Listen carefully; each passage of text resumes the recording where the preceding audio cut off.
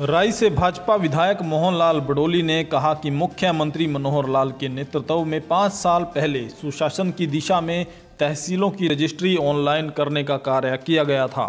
इसके बाद सरल पोर्टल के माध्यम से साढ़े पाँच सौ से ज़्यादा सेवाओं को ऑनलाइन करना, सरल व अंत्योदय सरल केंद्रों सहित विभिन्न योजनाओं का लाभ पात्रों को सीधा लाभ प्रदान किया गया। आज फिर सुशासन दिवस के अवसर पर हमें इसी संकल्प को आगे बढ़ाते हुए आम जन को बेहतर शासन प्रदान करना होगा। मंत्री श्रीमान अटल बिहारी वाजपेयी जी का जन्मदिन है और पंडित मदन मोहन मालवीय जी का भी जन्मदिन है। आज पूरा देश बड़ा दिन मना रहा है, पूरा देश क्रिसमस डे मना रहा है।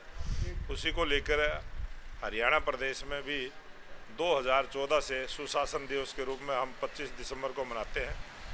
उसी कड़ी में आज छठा ये सुशासन दिवस देश के यशस्वी मुख्यमंत्री मनोहर लाल जी ने आज सबको संबोधन दिया है और सभी को अपनी जिम्मेवारियों के प्रति सचेत किया है।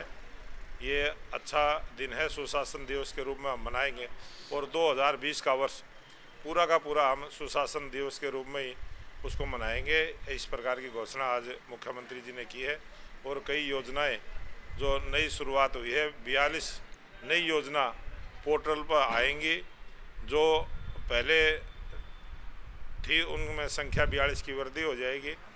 और एक गाँव, करनाल ज़िले का, जो लाल डोरी की समस्या रहती है, उसको नए डिजिटल तरीके से उस गाँव की पूरी निशानदेही करके वो एक रेवेन्यू रिकॉर्ड में दर्ज होगा और हरियाणा प्रदेश उसी तर्ज पर आगे चलकर जितने भी हमारे गाँव हैं हरियाणा प्रदेश के, वो सभी उसी प्रकार से उनके नक्शे बनेंगे, उनको मालिकाना हक मिलेगा रेवेन्यू रिकॉर्ड में वो दर्ज होंगे।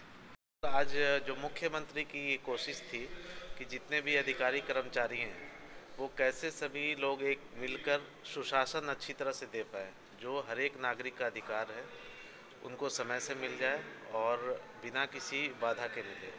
तो इसके बारे में हमारे माननीय मुख्यमंत्री का एक बड़ा अच्छा प्रयास था कि हम सभी को मोटिवेट किया है कि हम जो भी हमारी कैपेबिलिटी है, जो भी हमारे पास अधिकार या जो भी ड्यूटी है, हम उसको अच्छी तरह से निभाएँ और लोगों को दिक्कत ना हो। ताज़ा अपडेट्स के लिए अर्थ प्रकाश टीवी को सब्सक्राइब करें और बेल आइकन को प्रेस करें।